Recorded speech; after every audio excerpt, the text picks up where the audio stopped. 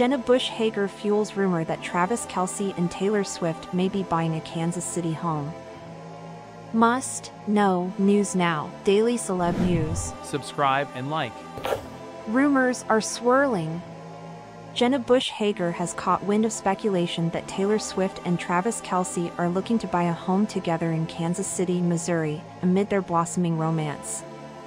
As the NBC personality and her co-host, Hoda Kotb, addressed how crazy everyone is acting over the love story singer's new relationship with the NFL player on Monday, Bush Hager shared the hot gossip. Do you agree? Subscribe and like.